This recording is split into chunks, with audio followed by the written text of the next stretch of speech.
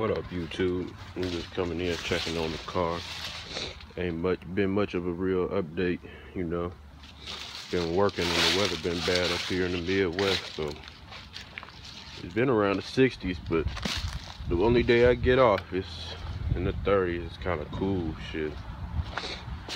I ain't been doing nothing but stacking parts. Not too much, ain't much change. I ain't got the rear end in here. I ain't got the bottom painted or nothing. It's still in the air. Motor still need to come out. Got this turbo 400.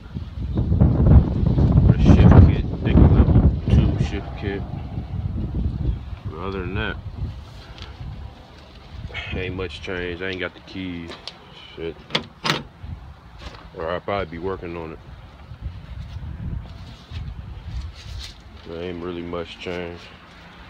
Just come out here to check it out. Make sure everything cool on it.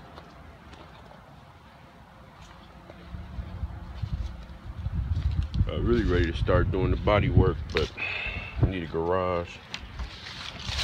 It all get done. This bottom, got the coilovers. I'll probably be putting them in in probably a week or so. When the weather get real nice coming up. Get the frame notched. Update y'all with a few more videos.